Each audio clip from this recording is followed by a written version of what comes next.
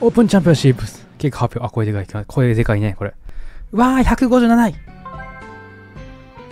ということで、えー、終わりました。どうも、こんにちは、こんばんは、チャンネルです。よろしくお願いします。ということで、えー、オープンチャンピオンシップス無事に敗退しました。はい。あのー、ひどかったですね、俺。セカンドだよね。セカンドコースがね、僕、動画でマイナス、え、動画でプラス、なんか2とでしょ。で、もう一回やったらね、プラス5だった。もうね、やっぱね、あの、6コースもあるからさ、あの、メンタル勝負なんですよね。ゴルフってやっぱメンタル勝負なんだね。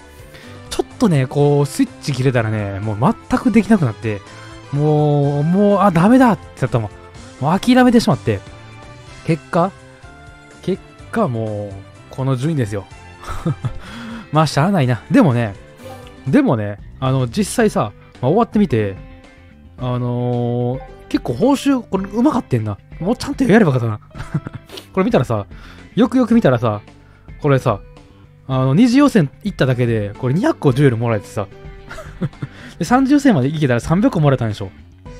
あ、これ、やらかしたね。こっちやらかしたなというふうに思ってるんですけどもね。まあね、僕のオープンチャンピオンシップス2022スノーカップは無事に終了いたしました。ありがとうございましたっていう結果でした。はあ、どうですか？皆さん、いけましたか？いいけた方はね、この、今の3次予選、どうですか？皆さん。難しいですかね ?20 位か結構厳しそうだね？結構人数おるでしょ？あの中から20位って結構きつそうだなとは思うんですけどね。ちょっとマイク、ちょちょっと待ってね。よいしょ。よいしょ。きつそうだね。